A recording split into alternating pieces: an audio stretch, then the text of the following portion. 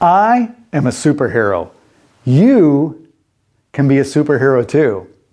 Happy people smile as many as 40 to 50 times per day, while the average person smiles about 20 times per day.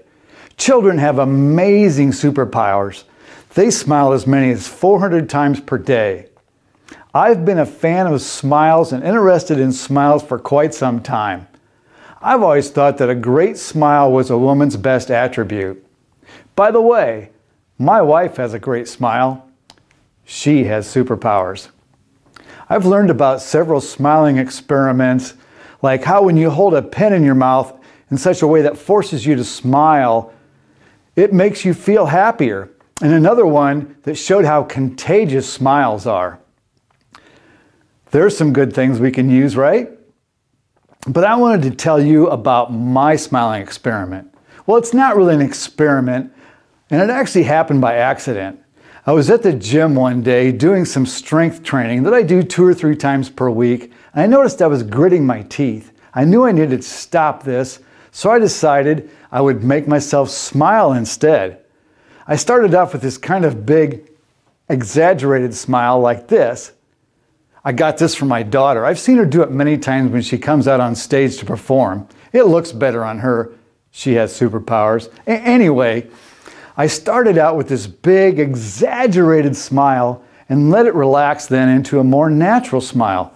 I kept doing this over and over during my workout and realized it elevated my mood.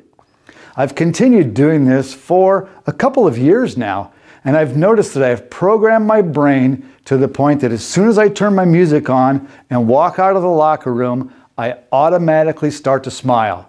Since smiling actually stimulates your brain in a way similar to exercise, producing some of the same feel good chemicals, I'm giving myself a double reward, a double hit of pleasure. And I enjoy my workouts more. I challenge you to be a superhero. Smile more. It will increase your happiness and the happiness of those around you. You're not a smiley person. Don't feel like a superhero. Fake it till you become it. Smile till you become that smiling superhero. If you don't like the idea of faking it, think of it as practice. Practice smiling. Give yourself a hit of pleasure and spread smiling like an epidemic. I'll wrap this up with a quote from Mother Teresa.